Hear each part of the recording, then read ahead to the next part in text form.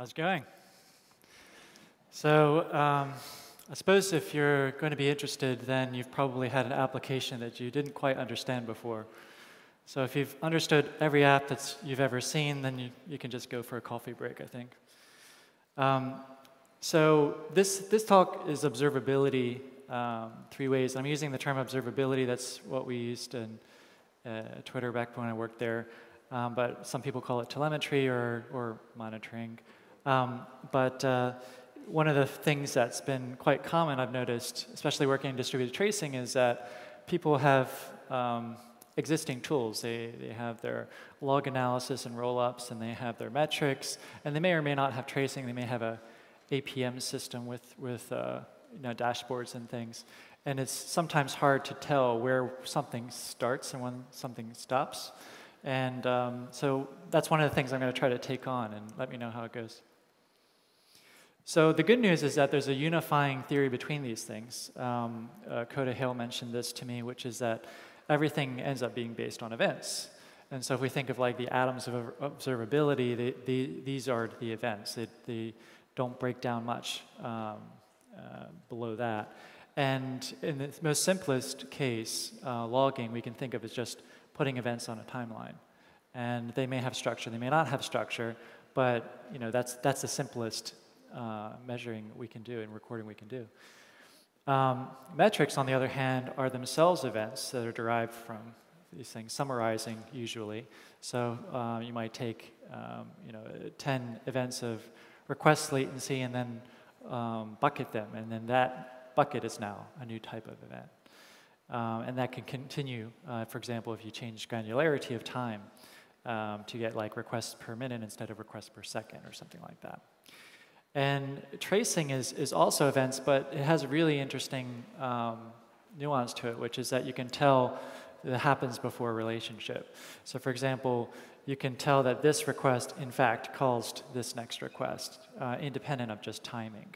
So for example, if your clocks are all a mess, uh, you would still know that you know, this customer request ended up causing this backend request. So at the end of the day, they, they're all um, they're all giving us insight based on events or, or nuance. And um, where they focus is, is a good place to kind of tease apart um, one from the other. So, like logging, um, many times when we're developing ad hoc, uh, we may find that you know some crappy error happened, and so that might just be dumped right out to a log. Either we did it or the system did it because we didn't trap it. But at any rate, um, exceptions tend to end up in logs. And the, uh, if, you, if you roll around, like, um, you know, exceptions are something that are also usually kept in, in traces, or at least that there was an exception. Um, but it can tell you more about that, for example, the impact. So if you do have a happens before relationship, meaning this led to this, and this error happened, well, what, what was before it? Was that a customer request? Was that a redundant request? Um, you can tell a lot more about the impact of that specific thing in the system. And if we keep going around the circle here, well, tracing has a, a, often has a focus on latency because we know latency is really important to us. If something takes too long, we often give up. Uh, we're very impatient. And so we want to tell um, about uh, latency, not just from one request, but how our whole apps are doing. So we'd, we'd like to know in, in aggregate terms, like what's, what's our latency? And uh, for a cluster or for a node, and, and metrics tend to be um, really good at focusing on, on the aggregate nature of, of these events. Um, but if you keep spinning around, you can even find that your metrics include um, you know, the amount of error counts over time uh, and things. And so it's, it's, it's neat that they have these focus areas, the, the places where they all overlap. You know, one of the things that they, they all intersect at is, is request-based information. So if you think about um, logs, usually you would, if you have a HTTP request coming into your system, it might have a side effect in a log file. It might have incremented a counter and metrics, and it might have also been in a trace. So right in the middle, you have a place where all these three tools give you this information about a, you know, a similar, uh, in this case, maybe an endpoint. But on the other hand, there are things which they don't really overlap. So, for example, in logging, uh, you'll have things that are non-request scoped in nature. So for example, if you're running a garbage collected system, you might have garbage collection events, or you might have audit events, which aren't necessarily going to end up in a trace. Um, and in metrics, we may have things that are not system in nature. So for example, like counts, or any of our value metrics about our application performance. If you're at Netflix, then you might you know, want to know what your uh, streams started per second uh, of, of video streams, which is you know, maybe related to some of these other things, but it actually is, a, is something that, that uh, you would use metrics for that aren't necessarily system in nature. And you know, within, within traces, like there's, there's definitely good overlap between logging and metrics, but that, that uh, causality information isn't usually also kept in the other, the other two buckets. So, so they have focus, they have interlaps, uh, um, I mean, uh, overlaps, but they, they also do have some, some unique things to add. And, and so that's one of the reasons why um, hoping this talk helps with folks because we often have like one or two, or maybe we're considering uh, adding something else, and what do you get with that? What, what does it buy me? Because all of these decisions cost something. So let's understand what, we're, what, what our values are. So to drill down a bit more, um, I like to try to make it a bit practical. So if we use that latency, the thing that's in the center of all of those, then we can talk about these three tools, which are not the universe of all tools, but these three that I have time to talk about today in, in common, common uh, terms. So let's take response time. Um, in a log, you know, you'd, you'd end up with response time as in, in a log line or the difference between two of them. Um, metrics are obviously very good at, at um, storing numbers, and response time can be represented as one. And uh, trace, um, we'll, we'll, get into that, but essentially they, they often have a focus, a central fact, which is uh, latency. Um, a lot of these things where you see some things dumped is just because I'm trying to make it a bit more practical. Um, so for example, this, this might be a uh, HTTP logging format some people have seen before. And the neat thing about this format is, you know, it crams a lot of information in, in a line, which is good. Um, but also it adds latency as a, as a trailing field, which is nice because usually if you're trying to do like, like napkin latency, you'd have to like compare numbers between two different lines. And this particular format happens to place the request latency is the last field. So you might be able to get an accurate number um, for how long something took, which is not necessarily going to be messed up by clocks, clock adjustments from NTP or something. So in this case, we're looking at, at something which dumped out um, you know, a, a, microsecond because microservices. And uh, that, that turns out into 95 milliseconds, which who knows? Like we, we know that's the time. But if you've worked with developers before, you notice that when somebody says something is slow, they mean all sorts of things. It could mean it's 30 seconds, it could mean it's 30 milliseconds or whatever. It's, it's very um, ambiguous until you keep asking questions again and again. Metrics is one of those things that can help us take facts like a latency figure and then answer, well, is it actually slow? Or like, what is that number? What, what's the relevance within the population of my system? Because our, our systems have slow times because we're under a crunch. Uh, maybe if we're running in uh, Twitter itself, then you know during Super Bowl there's going to be a lot of activity. It's going to be hitting things, and the system is going to behave differently during that time, even if it behaves well. And so metrics, if we take you know a fact, for example, uh, at you know 2:19 p.m., this 95 milliseconds. Well, A, was that a slow request? Well, maybe if it was very slow, alarm would have gone off but we could still see within the population at the time, you know, how are requests doing. And this is obviously not a real app, but though I would love to see an ASCII art monitoring app. Um, but in this case, the system was, was particularly troubled, uh, you know, prior to this. But at the time that this request happens, it, it was a bit slower than other requests, and not because the system in general was slow. And so that's useful information when we're trying to understand requests in our system. If we look at traces, they, they really kind of drill down on a single request. They can help us uh, triage and troubleshoot customer issues directly. Um, so we, instead of saying like, well, you know, okay, generally speaking, the system was okay, but that doesn't answer the, the, the customer who may be having some you know, tail latency, which is not you know, represented in, in our um, 95th or whatever. And so in this case, we can look at individual requests if we're lucky enough to have a trace and, and understand why was it slow. Um, and this is good because when we're doing troubleshooting, we need to be able to triage and rule out um, you know, areas that, that we don't need to explore because time is important. We want to resolve failures quickly. And so if we happen to have a trace like this, and yellow meant a failed request, then we would know that the, the overall customer request was successful. It didn't actually break the upstream because the top bar isn't yellow, but it was delayed. Um, if it didn't have a failed network request, it would have been faster than normal and it would have been perfectly fine. And so we have a choice to make. Do we, is that a good enough answer? Or, you know, is whoever is on the other side of the phone, are they going to be okay with that? If so, you're done. You don't have to do anything else. You just know that it was a network calls delay. And you don't even have to blame the database team. I mean, so it's really nice to have a trace because you can get a good idea of what, what was actually responsible for some delays. Um, so you'll have your own thoughts if you don't, here's some you can take. Um, I, I, kind of feel like logs are easiest. We tend to, to learn logging, like what is hello world except for our first log statement.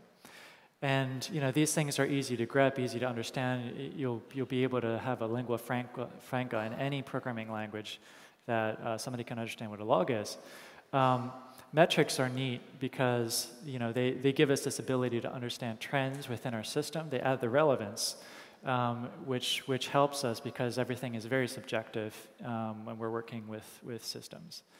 And you know, traces can help us understand a specific request or even a combination of events you know, with, with more sophisticated tooling. So for example, uh, folks at Dynatrace showed me some neat tool where they could reconstruct a post-mortem from trace data to actually show the system dying and coming back together. And, and that, that sort of information is, is neat and can be built with trace data. So how do you write this code? And, you know, we don't usually spend a lot of time uh, writing timing code, but we could, and some of us do. And at the end of the day, um, each of these tools would have different approaches to, to writing timing code because of how they store data and how they report it. So logs, generally speaking, are either delimited or formatted in some way, and so you cram latency data in there. Um, or you rely on externally provided formats, such as like that there's going to be a timestamp field to the, to the left. Metrics um, are all about numbers and storing numbers, so um, we'll, we'll, see examples of that. And um, tracing uh, is where we're, we're starting propagating this, this idea of this, this overarching request through the system. The jargon here is that it's often called a span, which represents a single operation within your overall request. Um, when I say overall request, I mean that you know usually, especially with microservices, we could have a front-end request going into the system. That system is usually not a monolith, so it's going to break down into multiple requests, and maybe it hits memcache, and maybe it hits a database and other things. And so each of those things would be a span, and the overall request is the trace. So logging, I took some code from OKHTTP, which is my favorite uh, Java library for HTTP communication, and you know, there's a, a, a logging interceptor. And so essentially, it's, it used, usually looks something like this. You have some stopwatch, and then you cram the latency someplace. And so it's, it's about formatting. And uh, the metrics, on the other hand, this is, this is Scala if you haven't seen that language before. But um, this is a, uh, you know, usually you would take from a, uh, a stats or a metrics registry, you'll get something that's scoped to an endpoint or, or at least a, a type of data like re request latency, and then you just add numbers to it. So for example, how you collect the number is different with, within, langu within languages and libraries, but again, it's usually a stopwatch type of activity, and, and you just sync it to this, this statistics gatherer thing. Um, tracing is a bit more complex because it has more state to it. It's, it's out of the, the two I mentioned so far, this one's actually stateful. Um, because when I say that there's a overall request flowing through the system, guess what that means? There is state, and it's moving. And so um, you have to actually make sure that when something goes in one side, it doesn't get lost before it goes out the other side. So this is code from uh, Lyft Envoy, uh, which is a C++ um, proxy, aka mesh. And um, this, this is C++, and I've dumbed it down a bit. But essentially, you, create um, a span representing the operation, and you make sure that it isn't lost by the time the finish callback happens. And that finish implies often enough stopping the, the timer. Uh, and then at that point, it can be sent out. When, when this uh, trace goes between systems and it's HTTP, usually you'll see like a trace ID header and a span ID header or something like that. And so that's how it manifests, and that's how it gets from point A to point B. So the impact of this, you know, um, logs are, you know, ubiquitous, you know, like hello world, but we do require coordination because if we're going to write a format, we're assuming somebody can read it, whether it's a human or a system. So that should, that's a type of coordination. Either you're coordinating based on, you know, human intuition or a format or something like that. Um, metrics, in my opinion, are the easiest APIs to work with because you're just putting numbers into them. And it's hard to get that wrong. Um, you could put the wrong number in, but it's hard to put the number in incorrectly. Um, the uh, tracing is, is the hardest because it's doing the most work, um, because it's, it's actually having to carry state through the system and make sure that that's coherent. Um, because otherwise, if it didn't, you could be looking at a trace which isn't actually what happened, and that could confuse you and, and cause damage instead of helping you. So next, next point we'll talk about is, okay, you know, we can, we can definitely do that type of stuff, should we? Um, should we, I think, is one of the less discussed questions in, in uh, you know, engineering. It's like, yes, we could, should we? Um, and the reason I say that is because usually time, uh, frameworks um, do, do a lot of this stuff for us. Um, we may write our, our stuff from scratch without frameworks, but, but often enough, if you look, they have capabilities um, that I've mentioned in, inside the box. And also, even though I've dumbed down the examples, there's lots of edge cases in, in uh, timing code. So for example, um, I hinted at like clock skew is a problem. So for example, the, the clock on one system may be different than the clock on the, the, the other system, and if you pass data between them, how do you remedy that? The, even within the same box, the you know, clocks might uh, correct their time. And so for example, if it moves the clock backwards, it could look like your request took negative time to complete, which would be awesome, but not really very realistic. Um, there's all sorts of edge cases, which are fun um, but not necessarily something that we all need to, need to know or work on unless we're hobbyists. So how do you not see tracing code? There's a, there's a number of ways of doing that, and i will try to break down a few. Um, one is like a buddy, which means you have some other process that's doing it for you. And so uh, it's intercepting your code or your process or your container. And, um, and uh, that, that's, that's going to be um, you know, uh, taking responsibilities, like, um, which we're seeing more and more often in these like uh, service mesh type of deployments. Uh, another way, which is quite popular and probably the most popular way for um, performance management tools or, or agents, which will um, monkey patch or otherwise uh, change, change the code as your application boots up and like puts in um, you know, instrumentation points which will capture um, uh, you know, either latency or other types of information on your behalf. And then another way to not see code is to use frameworks, which then can be configured uh, to, to intercept your code. So buddy tracing, this is actually uh, an image from Linkerd, who her uh, one of the few options out there in the um, uh, service mesh space. And so it's, it's an example of where you have some sort of a sidecar that's responsible for your inter-service communication. So, you know, you might be sending a request to localhost, and then it's actually doing uh, outbound requests on your behalf. And the neat thing about service meshes is that they can do th neat things, like, for example, uh, Linkerd has the ability to give you like a special route. So if you wanted to um, uh, send a, a, percentage of your, of your uh, customers to a new feature, it could propagate a, a special route to send them to your test cluster uh, uh based on some you know, policy data. So you know, propagation isn't just for like trace IDs, making sure trace IDs go from point A to point B, but it could be used for like deadline uh, guards to make sure that if a request took too long to finish, that it doesn't just keep proliferating load throughout the system, uh, and, and, other uh, metering, for example, if, if you're doing any metering information. So um, buddies usually do more than tracing, actually, um, but one thing they do, do tend to do is, is um, you know, tracing. Agents are, are super powerful things. Um, this is an example of a uh, uh, Byte Buddy, which is a Java uh, agent library. And the way these things work is that they, as your application is booting up, it will literally change the code to, to for example, trace it or, or do other things. And if you look underneath of a lot of performance management tools, like that's how like the secret sauce of like AppDynamics or, or something would work, is that they're, they're actually doing um, automatic uh, tracing for you. You wouldn't, you would never need to see the code that's doing that, but of course with open source we can see some of it. And um, you know the interesting thing about agents is that like there are things that you can do in agents you just can't do with code normally.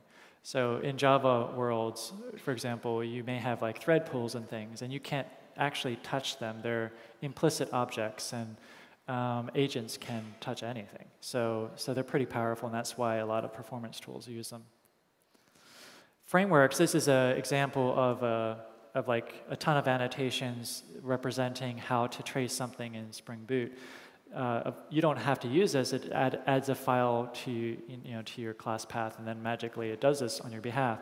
But uh, frameworks often know how best to trace one thing, and that's neat because it also invites the authors of the of the libraries to do that work, and so you get like a high a high chance of of it, it working out well. And um, so frameworks usually have a, a, configuration approach, whether that's placing a jar or, or placing something into a plugins directory, um, but you have something, or, or like a big YAML or HOCON file, uh, you have something that's configuring um, the ability to, to, to trace stuff.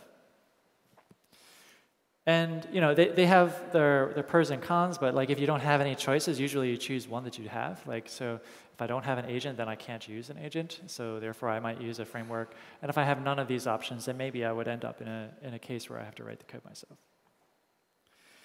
All of them, at the end of the day, have to ship that data out of process. And this is a pretty interesting thing about observability and, and, and worthwhile mentioning, because uh, a lot of the cost of a system is like, you know, what, what ancillary uh, things are going on. I remember I was asking um, Netflix once about why, you know, why they don't do you know, a lot of, of tracing, and it was because, you know, the, it would end up being a more expensive system than actually running Netflix. And so we have to always be careful about things like how much data we collect, how long we retain it. And each of these tools have very different ways of, um, or, or, or, basically different, different things to add to this discussion. Um, so logging, usually we have a, a pipeline, and that could be like you know, ELK or, or whatever your, your favorite um, way to get logs out uh, from, from your apps into, into where they can be analyzed. And often it's, it's parsing in nature. Um, whereas metrics are summarized in, uh, oftentimes you'll get, uh, you know, they're, they're, summarized in the app itself, and then maybe that's converted to, to some request per second, but then your system might summarize it again to request per minute. And, you know, as it's as it's going through the system, it might be uh, summarized, and that has a lot of, of gravity on, on not just the shipment, but retention of data, and, and how metrics are very different than logs, for example. The other thing is, is that metrics are, are often near real time, which is another, you know, if somebody says, like, if you have a problem with somebody being unspecific about the word latency, try the word near real time because somebody might think it's a second, or they might think it's 30 seconds, or they might think it's uh, 200 microseconds. So again, all these things about time always ask clarification. What do you mean by that? Um, traces tend to have a similar latency, like uh, read-back uh, interval, uh, and uh, and are um, expected in most cases to be uh, available as soon as a request has happened. So when we look at the nitty gritty, if you've used um, uh, Logstash, that you, you've probably seen something similar to this. We've been parsing logs so long that we actually have tools to help parse them, like Grok, which is a, a way to typify how we store things like IP addresses and numbers and such. And so you can, you can basically take these patterns, these coordinated things, like whether they were intentionally or unintentionally coordinated, and, and uh, you know, create things that we could possibly roll up later on.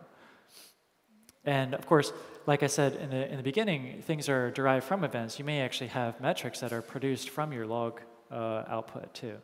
So that, that may be, in fact, uh, what you're doing here.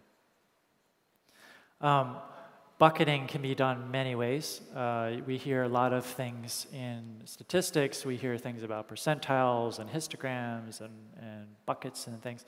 And this is an example of, of a way to classify requests that goes with my earlier diagram, which is like, okay, we have some boundaries. Maybe they're coordinated up front. They certainly are in this image. And um, so we know that anything below a millisecond is super fast, and anything beyond 50 seconds is super slow. And then we just, as the data goes into the system, we just increment a number according to that classification. And that has a neat side effect because it dramatically reduces the amount of data that we're sending out of process. Why? Because shipping the number one isn't a heck of a lot different than shipping the number one million. Um, it's, it's 64 bits, uh, and or 32 actually. Uh, depends on, on how you, you, um, how you ship it. But, but at any rate, it's, it's not um, a direct line from the count of requests, and that, that's a powerful tool we can use. Uh, spans, on the other hand, we, you know, in order to build these, these graphs um, that, that show us what a request looked like, we do have to retain a lot more information. Um, the parent-child relationships, uh, at least the duration, and usually some lookup tags and things. So how does this impact like our data on disk and or not on disk? It's, um, well, logs we know, it grows. That's the first thing we know about logs is that they grow. Um, they fill up disks and things. And they grow with traffic, although they grow with other things, um, that like errors that have nothing to do with traffic. Um, but they definitely grow with traffic. And they also grow with verbosity because logging has a, a, usual function which is like a debug level or a trace level. And if some developer is trying to discover more with logging tools, usually they will turn on the verbosity uh, which then could end up, uh, you know, adding more data in the system versus just local to that process. Metrics are neat because they're fixed size with regards to traffic. That's what I was talking about, how like shipping the number one isn't that much bigger than shipping the number a million. And so that means that you're actually, um, your, your data will grow based on the amount of things you're measuring, like your endpoints or how many types of, of data that you're, you're collecting per endpoint. But the traffic itself isn't a, isn't a primary function uh, you know, for, for size. And um, you know, there's definitely nuance around that. If you have a lot of um, uh, dimensions, like you know, customer dimensions, you can definitely get more metrics, but it's not anywhere near uh, as directly linked as uh, like logs and metrics would with, with regards to traffic. And this tells us how we can reduce this volume in our system. So if we're looking at logs, well, the first thing you'll, you'll have anybody uh, tell you is stop logging things um, because if you have irrelevant data going into the system, you're just adding weight to the system. That's why a lot of these tools at the collection ingress points have filters and other things because we know that oftentimes we have data that we can't even control being um, placed into logs. So how do we handle that? That's, that's a normal function of, of logging pipelines now. Um, metrics, uh, when I was in the observability team at Twitter, we had a uh, kind of read your writes initiative, which is that you know it's very easy and interesting to put metrics for everything, but then you could end up with writing 1,000 more times information than you're ever going to read, and that just adds load and cost to your infrastructure. So if you're trying to look at things about you know controlling volume of metrics, well, you can use things like a coarser granularity instead of like uh, aggregated on seconds, on, on minutes or, or something. But also, uh, and then, you know, within like maybe the last five minutes has this, and then, but the last day has that.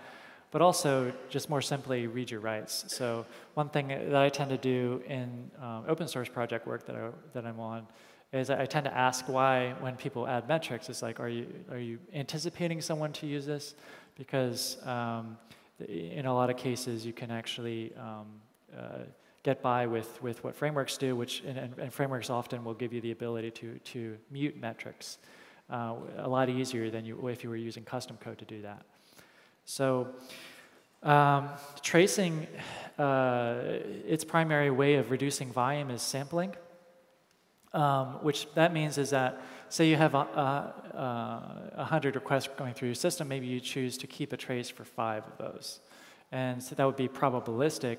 So um, you'd, you'd want to make sure that um, you know uh, your rate isn't so so small. Um, so for example, if you have a, a, front end like Twitter, you could get by with a very low um, sample rate, like maybe even a, a, a, thousandth of a percentage of requests. But if you have a um, less used endpoint, you might just take 100% of those because they're not going to overload your system. So there's a little bit more choices to do.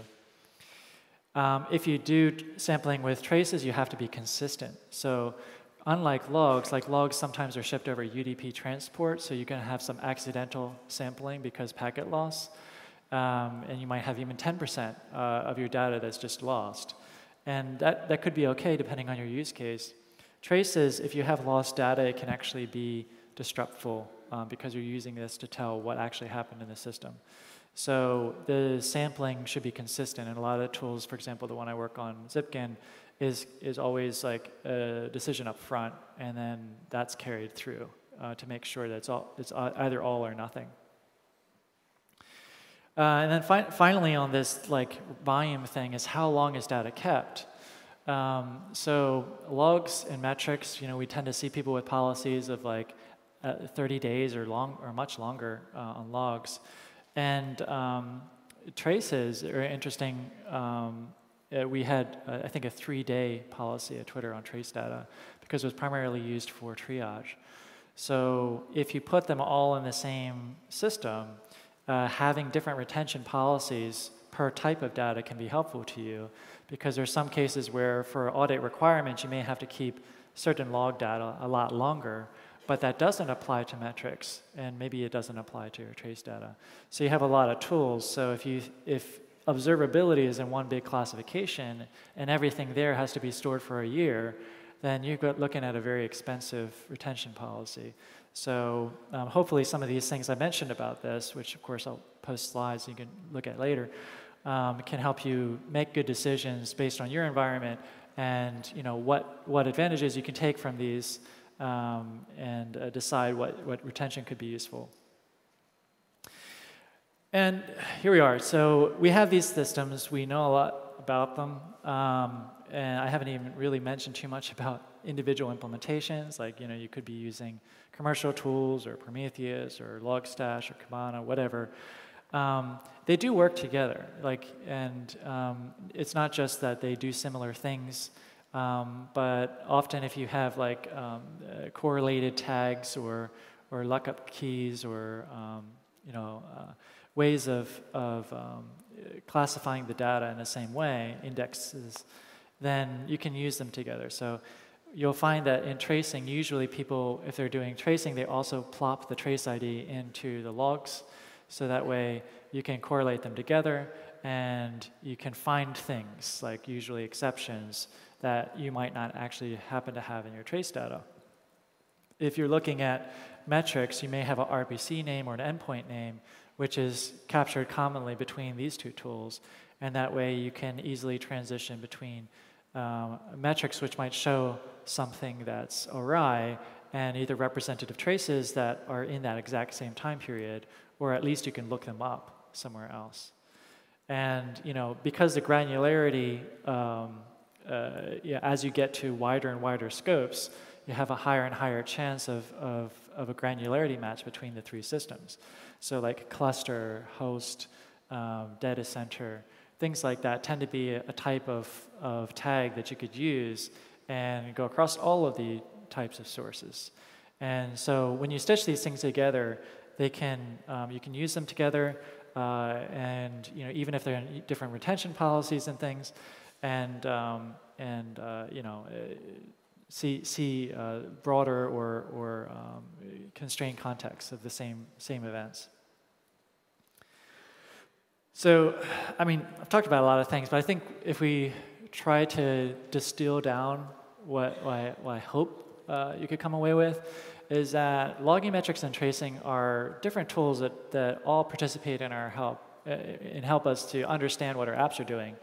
And if we, if we know what these are, we can leverage their strengths and understand their weaknesses as opposed to like combat them against each other. And, and that's going to, to help us with the actual environments we have. Um, many of us still have monoliths. Logs are great there. Um, that doesn't mean they're bad for microserverless. It just means that like there, there are different uh, ways that, that uh, we can use um, each of these tools, and you wouldn't necessarily turn off one to turn on the other. And um, you know, through, through the ability of uh, identifying patterns and exception cases and understanding individual requests in our systems, we have a lot of power to answer questions not limited to why this is slow, but actually what is it doing? Um, you know, in microservices, we don't, uh, you know, we're getting larger and larger architectures, and we're giving a lot more flexibility to developers in some cases. We may not be able to read their code, um, but we could at least identify what it's, what's happening from a system level. And you know, as requests go across the system, that gives us a lot of power uh, for triage, for getting people on the same page. And if you felt this was helpful, um, one thing I would encourage you to read is uh, Peter Bourgon's blog in general, but he also had a blog that inspired this talk, which, which uh, talks about uh, logging metrics and tracing. And um, also the, a lot of folks that review this content um, uh, who, I, who I work with in, in, in tracing land, including Baz, who works on this, this thing called GoKit, um, Bogdan from, from Google, who's working on uh, Census, which is like the successor to Dapper, Uh, Jean Rit from Criteo, which is a, you know, a, pretty high volume uh, service over there in Paris. Nick from uh, Nike, who, who, who, has some uh, interesting open source libraries. Uh, and then Coda Hale, who has, has as well Felix, who uh, runs a, a, small open source APM called Stage Monitor, and, and Abhishek from Amazon X-Ray. Um, but if you didn't like it, then please don't share that with us. Just give it right here. And uh, then maybe the next talk will be even better. But um, thanks for your attention, and if you have any questions, I'm ready for them.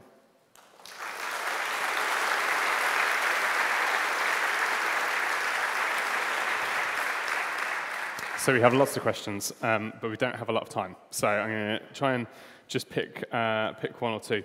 Um, so this is a good one. Someone asked, when the tracing is hidden, um, i.e. it's not done explicitly in the code, how do you automatically verify or test that all the things are configured correctly, that the tracing is happening, all of that sort of stuff? Yeah, so if you don't trust your framework, then you, what you would do is you would treat it like other things that you don't trust, which mm -hmm. are mm-hmm. black boxes.